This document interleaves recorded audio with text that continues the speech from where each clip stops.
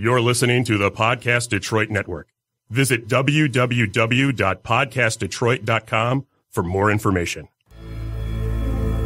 What is going on? Thank you for clicking play. This is episode 207 of the IT in the D show.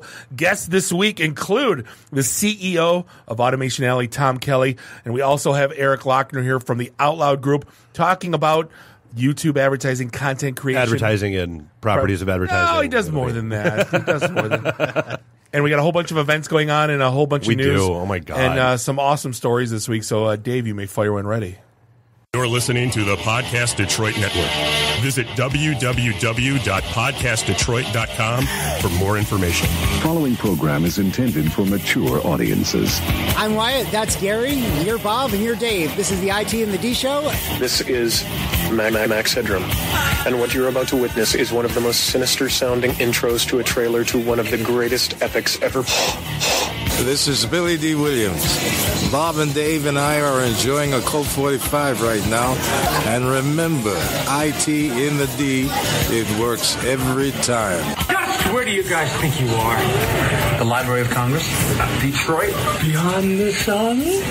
Any of those right? Take him to Detroit. No! No, not Detroit! No! No, please! You will never find the more wretched hive of scum and villainy. Then don't come! Shut up! Hi, this is Kristy Swanson, and you're listening to the IT in the D Show. And Bob and Dave touch my hoo hoos. What happens when you tap the angry beaver in the bunghole? exactly. Come on. Someone tries. what the hell with this? I'm calling a break. We'll come back to the D show. Uh, this is Gilfoyle from Silicon Valley, and the only two guys I hate more than Dinesh are Bob and Dave. Suck it, guys. What's up, everybody? This is Billy Zabka. Sweep the leg. Listening to IT in the D Show. No mercy. I may have to wipe the deep off. Hi, this is Kelly LeBrock from Weird Science. So, Bob and Dave, what would you little maniacs like to do first? Are we at a break yet?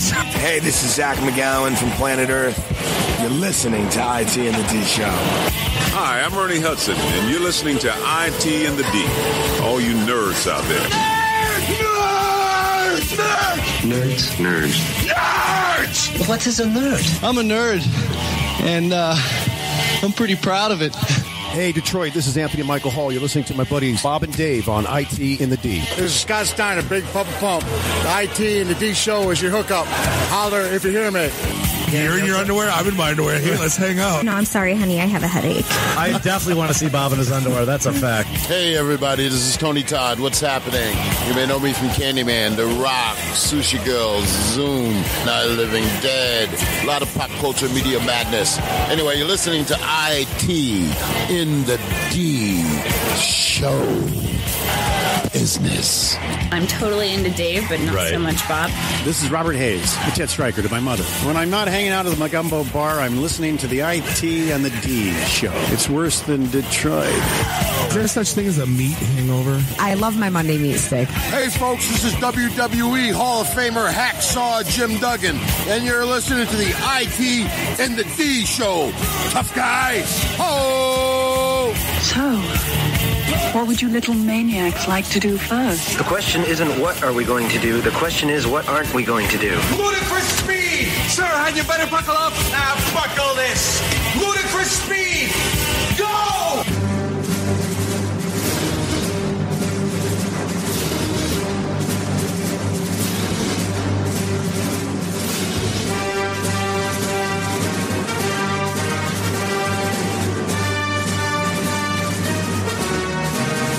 Welcome. Thank you for listening once again. This is the IT and the D show, episode 207, broadcasting live here in Studio One, Podcast Detroit in beautiful Royal Oak, Michigan. It's Bob the sales guy, the Dave the geek across from me. Nuri the FNG is in San Antone.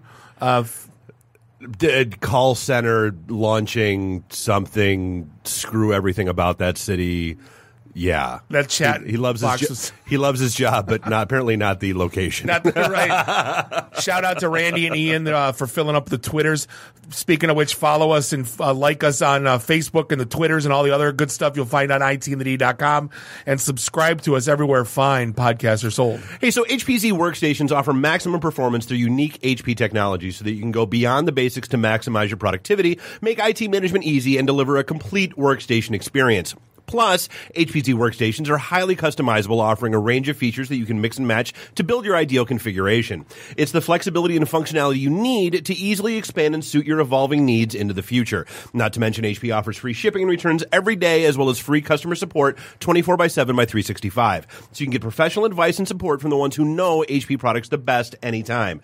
Right now, you get an exclusive offer just for our listeners. You get 15% off select HP workstations with Intel Core i5 processors when you go to hp.com slash IT in the D and enter code IT in the D at checkout. That's hp.com slash IT in the D and enter code IT in the D to get 15% off select HP workstations.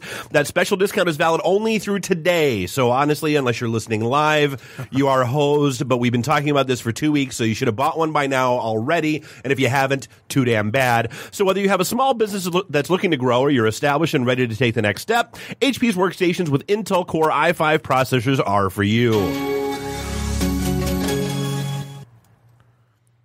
Awesome. Don't forget, mark your calendars. Uh, oh my God, we're in a lot. We're in August already. Mark your calendars a lot. No. Yeah, tomorrow's August, Bob. Oh my God. Yeah, tomorrow. tomorrow. Yeah, seriously. Yeah, Dude, yeah. I, I keep saying this and nobody believes me. Like I used to like when my grandparents used to tell me that the older you get, the faster time goes. I would laugh. I'm not laughing anymore. I'm crying. Like I don't know how it's 2017. I don't know how it's already almost. It's we are. It's the second half of 2017. Like it's done. It should be Blade Runner right now. Right. So, I mean, where's where's Blade Runner? Exactly. in the fall, won't it? Isn't Uh, no, the you know what? Reboot's coming out. Yeah. Yeah. yeah. Speaking of which, um, have you, you Blade see Ghost in the Shell yet? Huh? You see Ghost in the Shell yet? No. So if you love Blade Runner and you like RoboCop and you like The Matrix a little bit, Which RoboCop? the first one, Okay. not the The original? All right, yeah. But if you liked all those movies and you like um, like John Wick, like violence with no blood, okay, you'll love Ghost in the Shell. Okay. It was it was uh apparently it got awful I, ratings. I, I on should I Rotten shouldn't be I shouldn't be mad that they cast a white girl in the role because that, that was that was all, that was all the social media fluff enough. They they they they, they, they did it. They really tried to make her look Asian in the beginning, which was kind of weird. Because it's isn't it Scarlett Johansson? Yeah, She's, yeah. You know, No, but, no. but it was uh it was cool. I mean, it's it's kid friendly. So yeah, I mean, my thirteen year old, it was PG thirteen. Okay. Um, they could have made it a hell lot dirtier. So that's what's Um, wrong with Bob's kids. right? They watch that. Starting with Bob's DNA. That's Ah, what's on. wrong with Bob's kid. do you know? Uh, do you know? But no, so hey, speaking of mark your calendars, dude. So we've got uh, tomorrow night. There's the event in Ann Arbor. Um, I can't remember if it's at Pretzel Bell or Conor O'Neill. See, this the one time Randy's not here to correct me. one or the other. Go to whatever. the meet- it's- go to the meet tab Go to the the meet site. tab. It's there. Um, and then next Thursday, uh, the 10th, down at the Detroit School for Design and Technology. excuse me, Detroit School for Digital Technology uh, at 21 in Vernor in uh, Southwest or Corktown, depending on who you ask. It's on the backside of the train station. Uh, that is where our new studio is located, and so there is an open house there. You can come down. I think it starts at four, no, five in the afternoon. Um, there's an open house. You can learn all about DSDT, what they do, the courses they offer. They offer some very cool stuff. Um, we're getting them hooked in with the Career Academy thing that we have going on with the state, uh, but they also have. I mean, they have. They're the only. I believe they are the only certified uh, accredited program for drones like learning how to fly drones properly and all that kind of stuff and passing all the I've tests been and all watching that the stuff. drone racing on E ESPN. I watched it last. Oh, it's night. amazing. How- like that gives me a headache figuring out how those how those kids do How do that. they keep the spatial orientation. I can't coming keep them- back Seriously. at you, away from Right. you, I keep left, crashing into the same tree in the backyard. I, I, right. and I know it's there. Do you know who won? Did Jet win? No. No. I Uh, don't who? know. Oh, I don't- He's he's two time world champion. They have a world champion drone race for now. Oh yeah, It's- they do. It was, they Of did course it in the London, some London museum. Okay. They took over an entire museum, and it was yeah, it's crazy. Good God. That's right. They're trying to remove wrestling as an Olympic event, but I'll bet you drone racing will be an Olympic event. coming Ribbon- here no shortly. ribbon twirling. Sorry, ribbon twirling is an Olympic event, but Golf, wrestling, nah. Right. Baseball, nah. Hey, so you know who had a bad week? Oh, a lot of people. Uh, the Q Line. Uh, it has every week's a bad Uh, week. well, but it was the first time that a car was actually damaged. Uh, you know, this was coming. Uh, there was it was got into an accident, got into a little fender bender. So let me. I want to. I want to. I'm going to err on the side of the the person that parked the car because that's why the Q Line. hit- Someone parked the car to run in and get something. Uh, If you've lived in Detroit your whole life, it's pretty much been a lawless town. But there And have been signs Don't everywhere for a Don't care. year. Let's say you. Let's say for 30 years you've gone to the same laundromat or whatever. The and you suddenly didn't notice that there were tracks underneath your feet. Nope, because I got to pick up my dry cleaning. So I'm going to stop and. Well, then you like deserve to get your car hit. But how, how do you not? How do you? Where, how do you create something of two hundred million dollars? You couldn't have had like sensors Brakes. in the front and brakes to like not hit anything. Like it just went and barreled into the car. My Volkswagen, for crying out loud, cost twenty thousand dollars and it'll stop before it runs into a truck. Like this thing's two hundred million. You couldn't have put brake sensors in the front. Clearly, no. No, like, well, No. Who, who would have thought of that? Maybe it'll go through slow roll next week. Ah, did I say that out loud? Uh, yeah. Um, hey, your favorite people though are having a very good week, Bob. Which ones? Snopes.com. Ah, you know what? I don't. I only hate. Here's the thing. I liked Snopes when it was just Before it was cool. N- No, Hipster not, Bob? Not no. I liked Snopes when it was just doing like weird email chains and conspiracy theories. Then all of a sudden, Snopes turned into PolitiFact. PolitiFact, and then it became like trying to like say what's opinion, and they were trying to say if it was false or not, and it just went in this weird angle, and it just didn't. So now, if you if, whatever they come up with, they're going to say, "Oh, you lean that way or you lean that way." Did, whatever, are- and they would do both. Right. It's not like they were one sided. Um, oh, they're just just a two husband wife team. That's what you always say. I do. when it's not with my, it doesn't coincide with my thought. With my, no, but like again, they were they were always like the best when it came to. Um, was Bigfoot really sighted at yeah. Right, right. But Is now Bill it's like, Gates really going to give me ten million dollars if I forward this email? But now, you know, maybe Eric, you can chime in on this from an ad perspective. Now, instead of just putting out banner ads like Drudge Report does and makes their money that way, they're like putting on a Patreon and saying like, you know, like UHF save our station. Well, no, it was money from the people. It was a Kickstarter, and it was you know the you know the ever increasing bandwidth bills and all that kind of Last stuff. Last time I checked, it was a half a million. It was a half a million dollars. Uh, they raised six hundred eighty-one thousand eight hundred and thirty-nine dollars in ten days. What's that paying for? Um, Operations. The, Oh, yeah. the, the the basement that the husband and wife live in. They're not in the basement no more. Operations like facelift, like tummy tuck. Right, right.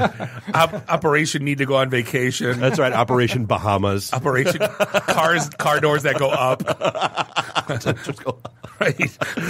But no, so yeah, so that's a thing. So I mean, uh, apparently Snopes is going to be around for a while. So, uh, you know, we've been uh, we've been in the job market. It's no, you know, it's no secret we've been in the job market uh, a while. No, for We're old. in and out for the last, you know, me getting laid off and you, you know, you bouncing contracts and whatnot. But uh, so our your next employer, if they ever said, I'm not uh, going to work in Wisconsin. That's for damn sure. That's what I'm talking about. Our, uh, our friends at uh, our, our Three Square Market, yeah, um, they di- they design basically software for vending machines. Uh huh. Um, they're they want to put chips in their employees' arms. Yep, microchips. Yeah, and No, guess the employees want the chips. The, if you if you read that if you read that article, the, almost something a huge percentage of them actually volunteered for it. Well, it's because they sell it. And it is part of their job. They get paid. Right, Right. right. When, when my boss comes in and says, "Hey, how would you like to take on this new project?" I would love to spearhead. That's right. that It's, one." it's, it's right up there with you know, hey, honey, why don't we take out the trash? That that really means that I'm taking out the trash, Right. and I understand. no, but dude, I mean, think back. Honestly, this this really didn't surprise me all that much, man. Think back to Penguicon for the last two years. People have been sitting there getting RFID implants, you know, by Joe Schmo sitting at a booth. Slapping him in there, uh, you know, for things like I want to be Luke Skywalker and impress my kids when I can wave my hand and the garage door opens. Dude, we're, we're, we're submitting our DNA to God knows No, who. w- we're not. To, to, to see that we're done I'm ten not. Scandinavian. Who cares? I thought I was German. I had to. I had to trade in uh, my lederhosen for a kilt. and now, they and now my- I'm on a watch list. And my DNA's on file, right? How did that happen? I like the fact that they call it a chips and salsa party. Ah. you got chips in the arm and salsa, Right. you know, go. You Can't eat your arm though. this is an honest confession. I didn't know, but when I first had my when when our first child was born, I said, "Wait a second, is it legal? Can I chip my kid?" Because you know you have all these. Our dogs are chipped. Yeah, I did it to my your dog. dog is do it to chipped. my It's a kid? dog. No, it's illegal. You can't do it. really? But you Yeah. but you can do it to people with Voluntarily. Alzheimer's. When you're Really? yeah. Oh, Yes. That's how they've. There's actually a because God, we had them on our show a year and a half ago. Um, so that if, if like grandpa has Alzheimer's and wanders off, you can go to the website and it's like it's not activated. Like it's it's apparently Findmygrandpa.com. it's, it, dude, it's totally it's it's like find my something or other.com. Um, and it activates it and GPS it activates it and puts off the GPS pinger and you can go find grandpa. Does Grandpa And the next version, Allegedly, no. Apparently, the next version is going to shock them and to go in different directions. Right. So Right. Start That'd be- walking that'd be left. better. Lead them back home. That'd be even better, yeah. Shocks them in the right arm and it forces them to go left. They go, Warmer, warmer, cooler, cooler. Hey, I'm watching Grandpa on the GPS. He's very close. So you can uh, you Always can getting agitated. No, don't drive angry. You can't Don't drive angry. You Don't can't drive- chip your kid, but you can lop off the turtleneck of his wiener, and that's completely fine. Like where, Nobody, where nobody, in society? nobody wants a snuffleupagus. Let's be real. Nobody, nobody does. Nobody, nobody wants it. Nobody wants to see it. Nobody. You know who I haven't talked to this week? I want to find out their opinions. Uh, you know, the Lyft driving community is pissed, dude. And they it- they have anger. And here's the thing. Well, if I'm Lyft, I think it's amazing that I signed a deal with Taco Bell. So like while I'm going home, I can pull pull it through the drive-through and grab myself a couple tacos. Well, yeah, I guess let's clarify the promotion. The promotion Yeah, yeah. is that if you if you summon a Lyft, uh, there is an extra button that they added in uh, between the hours of 10 p.m. and 3 a.m. I believe um, that says, uh, "Yep, run for the border." The tea hour. Yeah, the T. That's right, the fourth meal hours. Yeah. Um, and but and then the other part is that on the Lyft driver side, there's a there's an opt in that they have to be willing to take part in this as well. Um, and and then if but then if your Lyft driver picks you up and it's one of the taco drivers, they will drive you through Taco Bell to let you pick up tacos, which is amazing. But like until Lyft added in that opt in on the driver's side. Drivers are like, I don't want people eating messy effing tacos in my backseat. I've never not eaten Taco Bell in the car and not getting stuff everywhere. Dude, I've never eaten Taco Bell in the car. I do all the time. Because of course you have. that's why. that's why. That's why the valet guy at the Westin remembered you from a year ago and immediately asked you if he could clean out your car. I'm not well, wait, how pissed would you be if you're just all tanked after the bar and you you decide to Lyft because you want Taco Bell and then that driver just happens not to opt in? You're going to get into a fight. right. Well, and then you Grubhub. I mean, that you know, there's there's better ways to do this than have your Lyft guy stop. Well, I mean, just hey, Uber guy, here's twenty. Drive me through a Taco Bell. yeah, that's the way normal people do it. We had a we had an Uber guy drop off a crave case at the bar. He didn't even Dude. drive us anywhere. Two crave cases. Yeah, no. So yeah, we were at a bar and we were like, oh, you know what we need right now? White Castle. So I I call an Uber. And uh, the guy, and, uh, and as soon as as soon as the driver accepted, I saw where he was, and it's you know you can contact him. So I call him, and I'm like, hey man, he's like, oh, what? Wow, he's like, smart. he's like, what's up? I'm like, here's the deal. Like, I don't actually need you to come pick us up. And he was like, all right. I'm like, between your location and us, there are two White Castles. I need you to pick up two Crave cases on the way here. When you get here, I will pay you for the ride, pay you for the Crave cases, and tip you twenty bucks. And he was like, for real? I'm like, yeah, dude, that's what we need. He's like, all right. He was there in 15 minutes. Yeah. Way to game the system. Seriously. Uh, Again, like I don't. Yeah, I Were don't, any missing? No, Dude, and people were stunned. They were, I'm like, they were like, "What are you doing?" I'm like, "Getting White Castle delivered." They're like, "No, you're not." Yeah. Sure enough, uh, White Castle. Like, oh, you'd have thought I was Jesus turning like water into wine. So uh, you see the future. Is this is this a paid spot by Grubhub, one of our new No. clients? Whoa. the the company that's worth more than all the rest combined, worth more than all the restaurants they That you deliver order from, yeah. they don't they don't make the no food Grubhub. Why are you worth more than all those restaurants combined?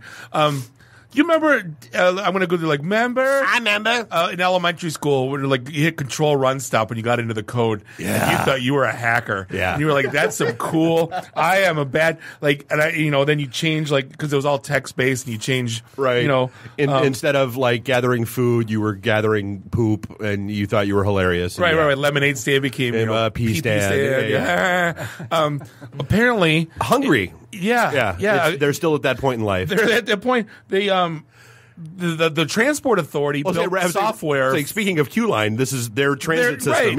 Yeah. they, they built this software program. Basically, uh, they wanted it to be ready for uh, the World Championships for uh, soccer. So once And- again, people listening at home, do not let date dictate delivery. right, right. Said, we need it now. It's like, okay, you're going to get it now. It ain't going to be good.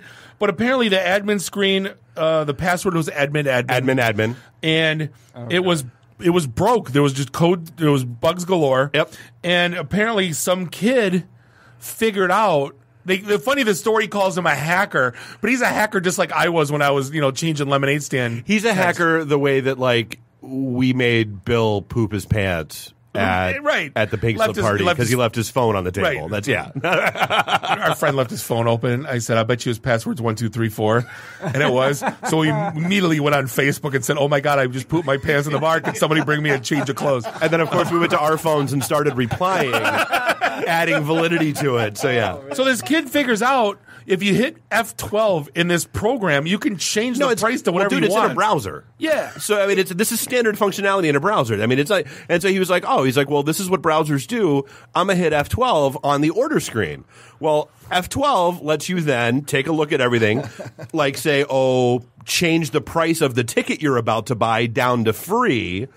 And then go ahead and close that and submit, and you've got free tickets. No, but he made it from. Uh, from he he at least didn't make it free. He made it uh, whatever it was thirty euro, and he Yeah. made it like fifty cents. Yeah. right. So it's not like he he at least wanted to pay. So like he's just a socialist, not a communist. right, right, right. but here's but here's what, like a couple weeks go past, and the police end up booking this kid and arresting him for hacking and hire him to run their IT Yeah, department. right. That too. They Which is what obviously they don't should be understand doing. Hacking, right? I mean, Well, no, that happened. That happened to me when I was 15. Uh, it's- it was our first network. It was a hub and spoke in the school. I'm a, I'm a sophomore, and I'm making fun of all the kids that were getting C's in class. And they're like, and they got around to the teacher. Bobby's making fun of me for how did he see? And I just said, I go, you left this thing all wide open. I didn't steal anybody's password. All the I did was look. The superintendent came in, like I thought I was getting expelled, and like that's what I did. You know, I'm going. And after that, and after getting busted for freaking, I'm like, I'm going to business school. Um, you don't get in trouble. I, I, I never had that moment. yeah, it was when you get the there was a seven digit code you can dial free long distance. AT and T used it for employees, so we wrote basically a new numeric program that dialed every combination of overnight, and you would print out a page of everyone that worked. So then you would use that for dialing BBSs Wow. in two four eight, so we wouldn't get long distance bills. Oh, and you never heard of Captain Crunch? No. So Captain Crunch is one of the old school, like back in the day, like famous, like Kevin Mitnick, Captain Crunch. This is the guy that figured out that uh, in Captain Crunch cereal, they gave away a whistle. That Uh, tone. th- and that tone was what set payphones into free mode. And so that's the guy that figured that out, and that's why Captain Crunch had to recall all the boxes with the whistles and all that kind of stuff. But which is all because it's 2600 megahertz uh, or 2600 hertz, which is why the Hacking magazine was 2600, and also why Atari named their gaming system I- I 2600 because it was cool. oh my gosh! Yeah, See? yeah, all the stuff Well, you this learn. is right? education right here. You know, forget the shot of history podcast. We're gonna do like m- the Back member- in my Yeah. day. Remember? Remember? You know, there's certain days I love the internet, like when someone makes an augmented reality uh, for the a-ha video. Dude, that was Um, awesome. That's insanely awesome. And Well, it's so and it's all off of uh, the preview version of iOS 11 and the ARKit. I mean, it's friggin' and the ARKit. It's friggin' amazing. But no, so like that's great. And then there's times where I hate the internet where you have conspiracy theorists that Dude, I love this story. that plot it out where the basically where all of the Outback steakhouses are. You can draw a pentagram between them all and how they're bundled, how their locations are bundled. So someone went through this painstaking process of taking literally screenshots of every Google Maps. metro every major metropolitan area around the globe that has like at least five steak uh, outback steakhouse locations It's it's insane. They're like, oh, you do pentagram. Now, granted, it could also be a pentagon, but that's not fun for conspiracy Or it could conspiracy be a theories. star. right? But that's not fun for conspiracy theorists, so it has to be a pentagram. So yeah, Yeah, right. But like, l- l- like there's screenshots of Google Maps and like, right. But it, to me, it's not pentagrams. It looks like stars. Like it's not. Like it's stupid. Like oh, it's pentagram devil. I'm like, yeah. Great. The devil's giving me a steak and shrimp for fifteen ninety nine. I like the devil. you know, like, well, come on. Where are you gonna go? So, like, what? What are they trying to prove? They're gonna put them out of business? Geez, a, Stupid. a restaurant to have a strategy of being in the city center and then equidistant restaurants all around the city. What, Who would what is do that? Oh, yeah, what a novel That's concept. stupid. Um, mo- moment of silence, please. Adobe has announced the most underwhelming announcement in the history of technology announcements. Flash will die at the end of 2020. Dun, dun, dun. For those Flash. of you, yeah, Uh, for those for those wins. for those of you who didn't know that Flash was still alive. Where is it still alive? Go to like uh not sumo.com. What was like the flash screens? That was the worst. Like to have these these like 15 second intros. Oh, the to go to Flash intros that were all the Oh, rage in like oh, 2001, 2002. Oh my God, they were painful. But yeah, so they have announced that the Flash end of life will be the end of 2020. Thank God. So here, this is an interesting topic to get into, and we'll end the, end the, end the first segment on this. Um, the data security world's nuts as it is. Every, you can't keep up, and once you ba- basically patch, everyone's done three things to get around it. Well, so I know where you're going with this. Let's do the precursor to that, which is DEF CON, because that was going on. Got their hands on 30 different versions of voting machines that are used across the United States, and within 90 minutes had completely owned all of them. All of them. 90 minutes. 30 different We're flavors. gonna have to have, go back to paper pens, uh, scantrons for voting. Like that's 90 minutes. Oh my god, 30 different voting Wait, machines. did they have any technology in with them? No. They had to go. Well, they can come in with like a US, like anything that like you could walk up to a voting machine and do. So they had like you could bring a USB drive, you could do this. You could, so it was like you know typical. I mean, DEF CON's really solid with trying to like real world hacking Yeah. examples. Ninety minutes. Frightening. I mean, so what, what this is boiled down Yeah, to? so back to- back to- yeah. So, so now, I mean, that's the one thing you don't want to piss off is the hacker community, right? Or anonymous. It's the last people I want, or 4chan people. Those are the last three people I want on my on I my don't know, shit you guys list. made fun of the Scientologists opening up in Detroit All day. week. I was like, oh, please don't talk about them when I'm there. Screw oh. them and Xenu. I lived in LA for 10 Xenu years. up sticking your ass. the beer but now the the hacking community is basically started with a hashtag because all good, all good things start with a hashtag. Uh huh. Um, but leak the analyst campaign. Yep. And they're going after the security analysts, and it's funny. Company called Mandiant? Mandiant, Yeah. yeah. And one of its employees, a hacker, spent a year inside his computer. Dude, and this is of a company. And this is why you don't wow piss off real geeks because we have patience. We truly do. It won't. It won't happen tomorrow. This was a company that got, got acquired by FireEye for a billion dollars that does forensics. Yeah. Like that's their job. And he sat inside the dude's computer and their network for a year gathering shit.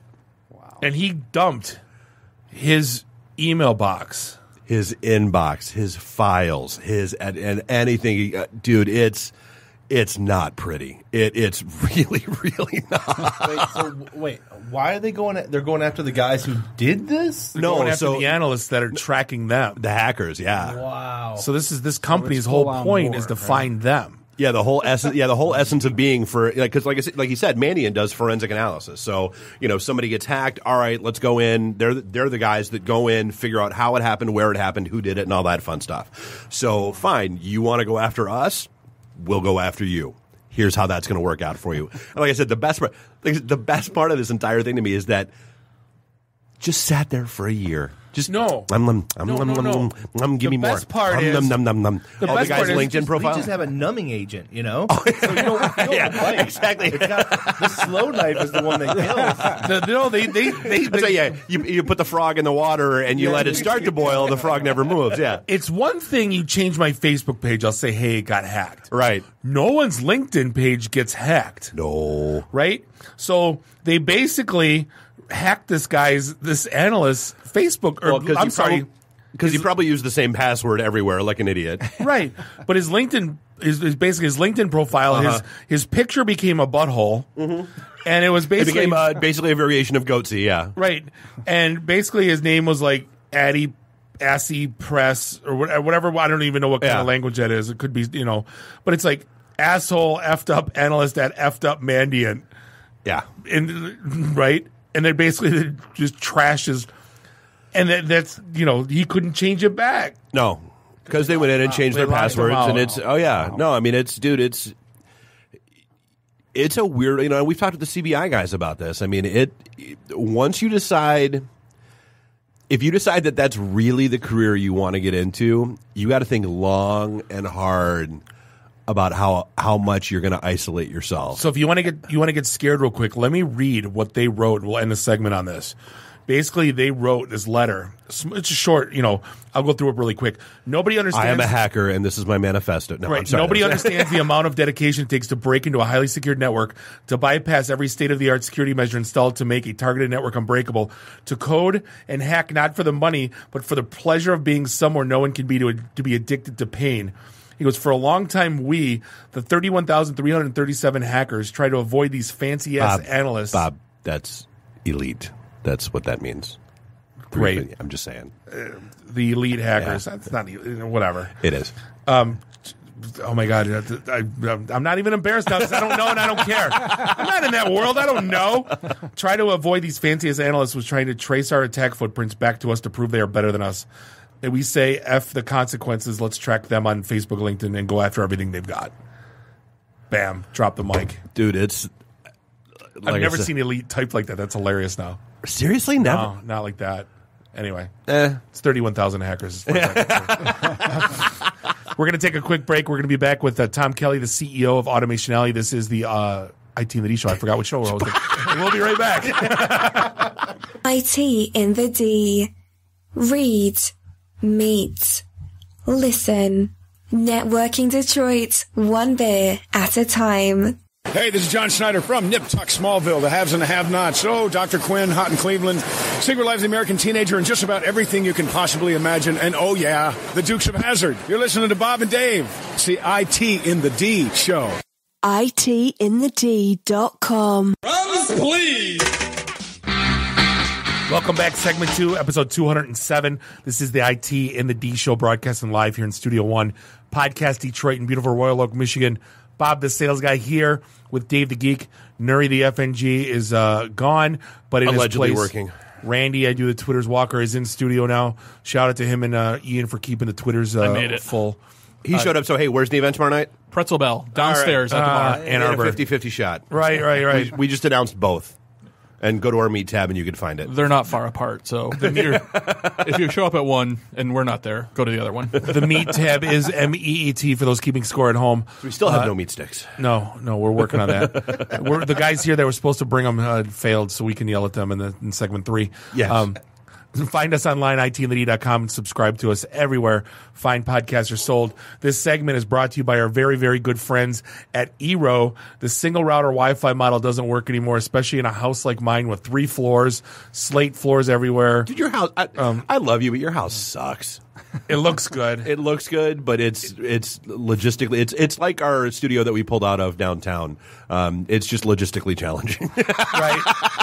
like, wow, that looks great. Like, I gotta wait. How many steps do I gotta go to to go Wait, to your wait, office? wait, wait. I want to hear the end of this multi-router ad. because No, we're I'm getting there. there. We're getting there. so hey, whatever, where- whatever your Wi-Fi needs are, Eero has, a, sol- has the power to seamlessly blanket your home. Fast, reliable Wi-Fi via Ethernet, wireless, or any combination. Simply set it on a flat surface or plug into a wall outlet to expand coverage to any room. Now, it's not a uh, the traditional Not a repeater or anything like because that, that yeah. cut your bandwidth in half. This is true shared Wi-Fi. Oh, it's insane. mesh network. Not to mention with the addition of with the addition of a third five gigahertz radio, the second generation Eero is now a tri-band and twice as fast as its predecessor. Lets customers do more in every room of their home simultaneously.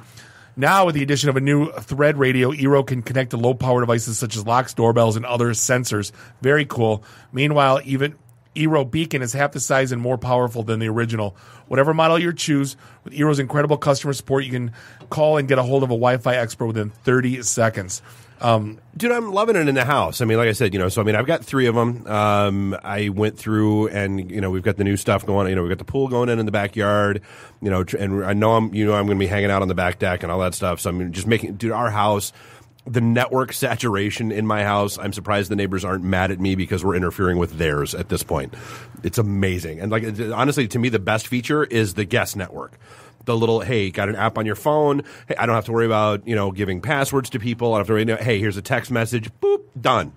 well, not just that, it was so easy. I installed it in 10 minutes. You did, and you didn't have to call me once. I didn't call that you was once, The, and that was that's my favorite part. I'm not going to it lie. Still works. No, and the thing is, with three kids in the house, there's no lag. They're all on YouTube. They're they're all on Netflix, Netflix. they're all- yeah. Three TVs. Um, yeah, there's zero lag in the house. Which is pretty amazing. So hey, do us a favor for free overnight shipping. Visit Eero. That's e e r o dot com. Select overnight as a shipping option and enter it in the D at checkout. Eero.com. Offer code it in the D. Very cool stuff. So hey, we are joined by he used to be the COO of Automation Alley, and now you know enter trumpet music here. Um, we got the new CEO of Automation Alley, Tom Kelly. How you doing? I'm doing So great. did you did you very- kill? I've been watching a lot of Game of Thrones. Did you kill the CEO to take over? the, the rumor is he retired. Now he hasn't been seen since he left Automation Right. Alley, and I'm not saying. but Yeah, there's a new patch of concrete out back. That's right. No, so uh, c- a congratulations, and thanks, b man. how I are things appreciate going? It's, it's going great. You know, uh, Automation Alley has been uh, this this company's been around for 19 years. I mean, it's a long, long time. It's been So for, around. for those that don't know what it is, I mean, because that's one of the questions Eric said when he walked in. Is like, what's Automation yeah. Alley? And uh, Besides a sign on 75. that too, that too. No, but what uh, what is it for those that don't even know? So Automation Alley is a is a uh, an organization. Made up of about 800 members. Uh, we have technology companies and manufacturers, and then a, the whole ecosystem around that. So we br- try to bridge the gap between technology and manufacturing because everything is changing that we know about how you're going to manufacture stuff. And we, you know, this this state, we're big in manufacturing. We do great aerospace, we do great defense, we do great auto. Regardless of all the hype and all that stuff about all the technology startups downtown, there are still other industries running around the state. yeah, and, and, and you know maybe like a trillion dollar industry that happens to be a pretty big one that we we tend to dominate.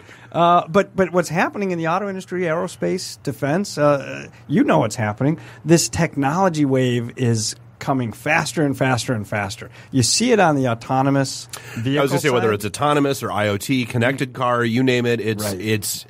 Oh, And honestly, like I'm loving it because I mean Yeah. I'm I'm loving the conversations now where people are like, oh yeah, dude, I've got Wi-Fi built into my car. The podcast app is built into the Apple, you know, the Apple Yeah, setup yeah. in my dashboard. I can just boop, boop subscribe and listen while I'm driving. Life's good. I Yay! bought my Impala because it had CarPlay.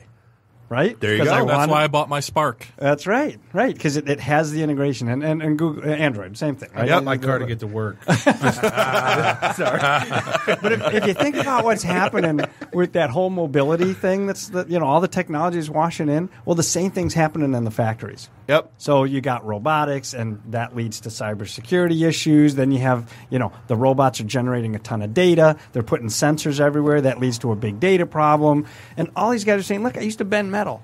Now I got to put a sensor on something. I need an electrical engineer. Uh, who owns the data? Yep. How, how, how am I going to handle the data? Now I got to lock the data down with cybersecurity. What the hell's going on? I, I bend metal, right? So these guys have these questions all the time. So we try. That's why we're taking Automation Alley in this direction to talk exclusively about what we call Industry 4.0, sort of the fourth industrial revolution. Okay. So the first was agriculture, second was Henry Ford and electricity, third was kind of a like a mini revolution because it was just computers and robotics. It didn't sort of transform everything, but and so now they're calling this the fourth industrial revolution where it's going to be the digital meets the physical.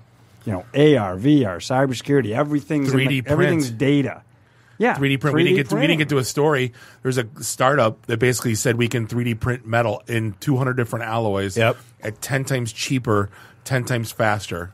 Listen. um, than any predecessor. I, I was at the Paris Air Show because we, we took a trade mission to 10 of our manufacturers and, and helped them get a bunch of sales over there. But I watched a 3D printer that doesn't print this way, uh, vertically, I'm doing with my hand on radio. uh, but See, and that's, and that's why we're adding video. That's, there you that's why that's there what. you Yeah. go. But horizontally, they built a missile cowling, 3D printed it.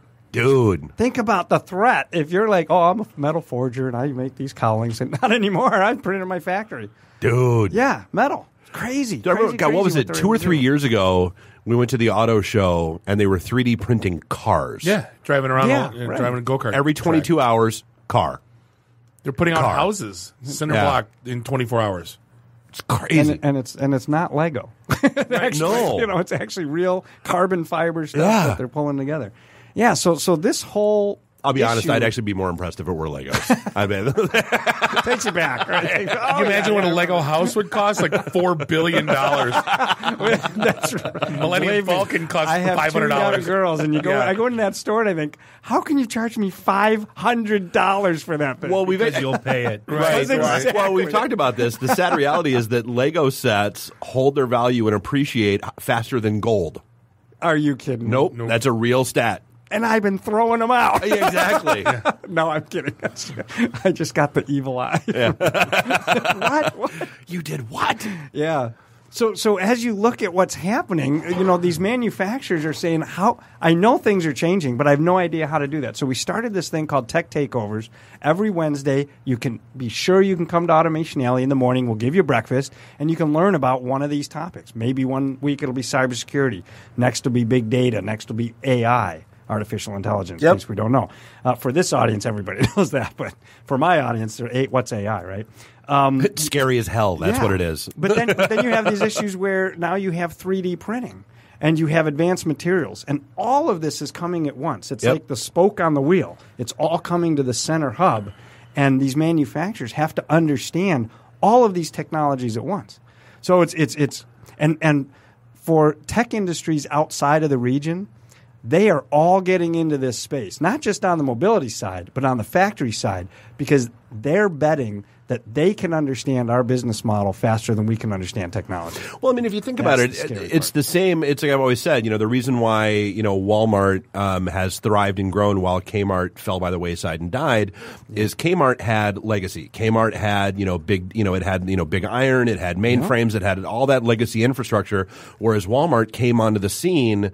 When the relational database was already out there. Yeah. So they started with this generation technology and didn't have to worry about legacy integrations and that kind of stuff and mm-hmm. way cut down their overhead right from the get go. And that's one of the things that ultimately tanked Kmart. And now, where the digital meets the physical, they're saying, "Well, I don't need the, the physical anymore. I'm just Right. going to go right to digital." So Yep. look at what Amazon's now doing to Walmart and the rest of the industry. Yep.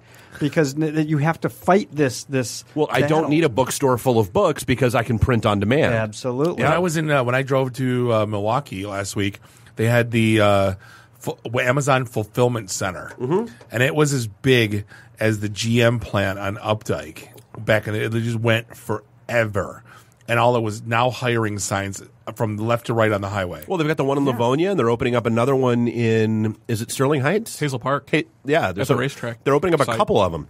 Well, it's crazy. And think that even for Amazon, that's a way station because if you can 3D print a mixed components Uh-huh. local, now the Barbie doesn't get warehoused at the Amazon. It gets built in the Toys R Us behind you while the kid totally customizes that Right. Barbie to exactly what she wants. Well, and that's Amazon doesn't want that though. no, of course not. That's what I mean. No. So, so Amazon is running as fast as possible because they're like, we're going to get disintermediated here too. So that's an interesting conversation, Tom. I want to bring up because, like, you look at Foxconn uh, is opening up a what a is it a ten billion dollar plant in Wisconsin? They were they were choosing Uh, between allegedly. allegedly, right? Allegedly, I know it's allegedly, $3 billion of- but you have Fox, you have uh, everyone wanting to outsource. You can't buy a piece of electronics in this country that isn't made in Asia, Right. And yet here you have the biggest Asian silicon manufacturer moving to the Midwest. because Asia's played out. I, I think I, I'm hopeful that the U.S. is in for a huge resurgence in manufacturing. Well, I mean, it's it's the laws of supply and demand. I mean, even from a like a development standpoint. So first, it was outsource everything to India. Well, then because it was cheaper. Well, then demand got too high in India. Prices kept climbing up. All right, now we're going to Russia, or now we're going to you know Turkey, or now we're going to wherever, and it's just it's come okay. Demand rate, you know, demand raises, supply mm-hmm. shrinks. All right, now we're opening call centers in Nebraska. Now we're you know rent a coder is opening up a location you know in the Midwest. It's I mean that's a thing. And and and coupled with that, the speed of innovation is I need collaborators close together that are interacting real time. I can't wait 12 hours to follow the sun because it's moving too fast now. So they're they're starting to near shore back to play. Dude, I was just reading in the New York Times the the, the um, all of these companies are starting to to near shore to places like Michigan, where they're getting these coders. I mean, you're probably talking about that more than I am, but We've been talking about outsourcing rural for 15 years. Isn't that crazy? You know, just saying. But it's you- accelerating now, right? But if you look at like the wages have come down so much, um, not only that, the, the you know you look at like where Trijicon manufacturers, middle of Podunk, Michigan, putting out fifteen hundred dollar gun sights. You know what I mean? Like you're not you're not getting a lack of quality by outsourcing rural, right? Um, but it's going to be like Callahan Auto Parts, where these towns are going to rely on these these these companies because they're moving in these huge facilities, and if they pull out, it turns into a Flint. But but that the the opposite side of that coin is the risk. What technology is going to do to that business? They have to stay up. That's this whole industry 4.0 concept of helping them keep up. Right. Well, that's why you look at the like the automotives. I mean, you know, they're they're trying to again legacy infrastructure. They're trying to retool and redesign all their plants to give them more component based flexibility. So yeah, they might be doing trucks today, but you know tomorrow they're doing sedans. The day you know, or hey, at the six hour mark they're shifting everything out mm-hmm. and swapping in SUVs. I mean, it's Yep. And and where the where the region is stuck, and this isn't a regional problem; it's actually a global problem. Is that when you get away from the OEMs and the tier ones, when you get to tier two on down, which is the bulk of the supply chain, the long tail, none of them are doing anything. Kicking and screaming. comes- They're going to Yeah, get dragged kicking into this. Kicking and screaming. Kicking and screaming. I make my bolts. Don't Yep. tell me how to make Yeah. my Yep. bolts. Yep. And you say, I- you need my to dad made my bolts. right, right. That's right. they go, what the hell do I do? Are your Wednesday sessions open to anyone? Yeah, they're open to anybody. Do you In to fact, register? well, they're free to members. They're twenty bucks for non-members, but. And, and I just thought of this, so it's not on the website yet. But uh, we can set up a code that if you're listening, you're IT in the D, and you put that in, you can come for free too. Cool. But I got to put it on tomorrow. All right. You're gonna If you come tonight live broadcast, you're going, you you son of a bitch. That's happened What's before. This twenty dollars charge, but we're happy to do it because we're trying to get the, the knowledge out. So we have people like uh, well, FireEye in to talk about cybersecurity. Sure. we have um, a lot of robotics guys come in. Uh, Baco is a great robots uh, uh, manufacturer. The little bacon bit things? no? Not- not oh, okay. So I, I like those. Sorry, Mike. all, all, all ad is good ad. Right. just, just spell it right. Yeah. Just spell it right. And uh, you know, we have people like Autodesk there talking about uh, what's going on in digital design. We got people, uh, a cool company called DAQRI that has these um, virtual goggles you put on like a Google Glass, but really for the Uh, really, there's a, a company named after an alcohol that makes goggles. And I- I wish I really? knew. It's Is that- is that OSHA DAQRI. yeah, I'm like, That kind of company. I'm like, yeah, it's like you know, beer goggles. It's yeah, nice. That's yeah, that's amazing. and With I the- know the demand is there. and, and I know the demand is there because we're we're sold out for these. For the for, we're booking in February already. So every Wednesday we do a morning session and an afternoon session, two hours. They're already gone.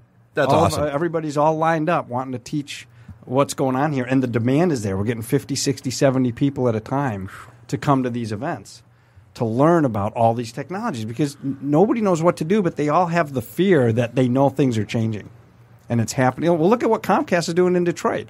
They're putting in this whole low power uh, overlay over their broadband to handle the, the Internet of Things because you got to get that low power sensor Yep. fed to some local, very close relay that then passes it on. In a very inexpensive way. So To different tell than the Amazon big- what's not in my refrigerator. That's where they're going, right? And Whether you like it or not. Uh, Well, no, I mean it's well, I mean, and that's one of the you know, I mean, flashing back to Q line. That's one of the things that we've heard over and over and over again from people is that the you know it's supposed to have yeah, great rocket fibers, you know, doing it too. They laid the fiber when they laid the tracks, Yeah, right. and yet somehow the wireless still sucks. Yeah, how's on that? you know on so I mean it's but it's it's because of It that. does not have eero. Yes, Right. yes, they, need, they need Eero. so as it, as it turns out, Tina Turner, we do need another Eero. That's right. oh man, You're gonna smack a- me, aren't you? Yeah, yeah. So it's it's it's been going great. I mean, you know, we just started this strategy uh, when I came in last August. So it's been almost a year. We got all this stuff set up, and we did something else that we, was pretty. Um, uh, I guess pretty bold in that we, we said we're going to have a conference on all of these technologies in Detroit. It's November 9th. This is our inaugural year for it. It's November 9th. It's called Integrate. And because we, we focus on eight sectors, uh, I mentioned them Yep. cybersecurity, AR, VR, all that stuff, eight sectors. It's going to be eight tracks. And we said, if you're an engineer or an IT professional in Detroit and you want to learn about any of these sectors, you always have to get on a plane and go somewhere else to get that information. And we said, we're going to bring all the tech companies here and talk about what's going on because we're huge users of the technology. We're the user community of all this stuff. Right. And so we're going to see if we can spin this session up and, and really make Create a Detroit critical a knowledge Yeah, center that's great. for all of these technologies. Because, you know, the sad thing is all these technologies, almost none of them are created here. They're all created somewhere else. But nobody in the world can do a better job of assimilating them all together. Especially when, you, when you're going down the path of mobility for cars and factory automation, they work together beautifully. Yep. So that's what we're trying to do, and we're expecting five, six hundred people for. So this is it show. just one day? It's one day, uh, November 9th. We we hope over time it just grows. It gets a little bigger, a little bigger. I mean, we'd love to take Cobo over someday, but today we're going to do it at the Marriott. So it's a Thursday. It's a it's a Thursday. It's November 9th. And it's a global event. So we have speakers coming in from all over the world talking about these topics. So are you going to? Is it just like attendee only? Are you going to be live streaming any of it? Or are you going to? Or is it just basically get your ass there and yeah? We would like to live stream it. We we haven't figured out that nut yet. How we're going to do that? How we can afford it? We re- absolutely want to do that though. Okay. That's, that's a wonderful next Wednesday's next Wednesday's session. Live Exactly. stream. Yeah, right. Right, You guys, hey, come on out. IT and the D is here. They're live streaming, guys. Yeah. Let's check it Yeah. out. I mean, you know, No, actually, fun stuff. I, I, we ought to be. We ought to do that. We ought to be at this. Done. You, I- you, you ought to do integrate for sure because it's a big, big event, right? So we have uh, um, all kinds of speakers that are coming in. Yeah, We like some how we the- chose it from uh, um, Carnegie Mellon. Okay. uh, one of the world leaders in robotics. Um, you know, we have all kinds of speakers. Drew Nee from uh, from U of M, Yeah. who is the uh, National Center for Manufacturing professor. He helped write the China 2025 policy, which, by the way, is all Industry 4.0. They're actually automating faster than we are as a country. You think, well, they got all that labor. They know what's happening. They know that the labor equation is going to get minimized, and you have to stay ahead Yep. of the curve. And so do we. I mean, we can't fight that battle. We have to be able to automate. And quite frankly, if we automate, we'll actually create more jobs for us because all those jobs that were a labor battle, we lost those a decade ago Yeah. and more, more than a decade. And no matter how badly you say, yeah, you- the South is not going to rise again. That's right. You got to put that those, to bed. Those jobs, are- those jobs are not Right. coming back. But what we can do is create these great jobs of how do you work alongside a robot, right? How do you make ten of something when Very Mexico? carefully. right. Today you do. Today, you- today you do. But yeah, this Baco, not the bacon bits, but Gotcha. Baco, the robotics guy. You know, they're showing how they're they they just teach the robot by moving the hand, and it does what it's supposed to do, and it puts it in a box. I mean, it's crazy what's capable today. And you think, well, there's so. Uh, the thing that always fascinates me is like when a child picks up an iPad and intuitively knows how to use it. Yep. But you go into a plant and nothing makes sense whatsoever.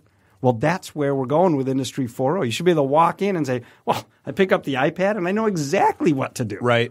Right? That's that's the holy grail of what you want to get to. Why do I need to know how to work anything? Yeah. Why do I have to have been here for 20 years Yeah. to understand how this works? Right. Yeah. So it's, it's pretty fascinating, and you, you can tell I'm I'm pretty geeked about it. No, it sounds very, no, it sounds very cool. I mean, honestly, I'm and that's, like, that's that's why I was saying I think we want to be there just because I'm like should. some of the best shows that we've had have been the live remotes we've done, you know, from security conferences and that kind of stuff. It sounds like it's going to be a very cool thing. Oh, you're going to get speakers from all over the world that you pull aside, say, "Hey, come over, talk to us." You know, it, it's going to be cool. So we we want to do that with you. We think it'll be a lot of fun. Um, when when you think about everything we're trying to do, um, the battle we have is getting people to pay attention and not being apathetic. Right. Right. You get the 50 year old, 60 year old guy says, I've been bending metal for 40 years and What I'm are you gonna gonna teach me? this out Yeah. until I'm riding this out for five Yep, years As soon as I I'm- can't make money, I'm out. And you think, well, but the region's got to survive. Yeah. you can't just check out, right? We need to keep building on this. Well, it was funny. That was part of the conversation that Jimmy was having yesterday when he was firing up uh, Arc Junkies. Was you know why would somebody pick well because he's a welder? Yeah. Why would somebody pick welding as a tech as a as a career today? And it was really kind of cool just hearing you know 'Cause you you, know his 100,000 Yeah, I was going to year. say six figures. dude. It's well, but people don't think that. People Yeah, don't right. know that, and you know, and plus, you know, he was talking about like you know, if you know, if hey, if you want to, you can go hop over to the Middle East, you know, for some of these American companies that are doing stuff over there and make more than that. Absolutely. You know, so I mean, it's you know, but and it's you know, kind of cool. I mean, you don't you don't think of welding and traditional technologies as still being out there. You know, and we've had the God, we had the conversation with uh, the Mob Steel guys at TEDx last year, where you know, part of the issue is that mm. Voctech is gone from schools.